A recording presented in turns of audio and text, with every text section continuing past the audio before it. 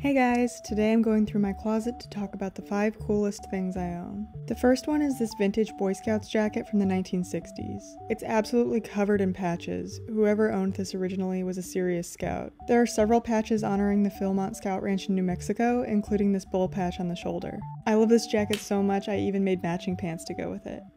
The second piece is a vintage Soviet flight suit from the 1960s. Its strange design inspired movies like Predator and Alien, as well as designers like Helmut Lang. It's a partial pressure suit meant for flying at high altitudes, so all this lacing and all of these strips of fabric get pulled tight to help counteract the pressure in the wearer's body. It kind of reminds me of the still suits from Dune. This Tintin sweater from 1987 is my favorite piece of clothing. It was originally sold at the official Tintin store in London and ended up being famously worn by Sting in one of his music videos. It's super thick and cozy and makes me feel like a kid again. Sometimes you need to feel like a Disney princess, and that's where this 1950s ball gown comes in. It's so poofy and extravagant that I feel like I should be surrounded by talking animals. It also has a little silk rose on the waistband. Finally, this is a Rachel Comey chainmail top from her spring 2017 collection.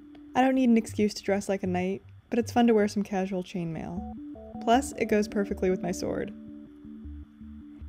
Thanks for watching and let me know if there's anything else you want to see from my closet.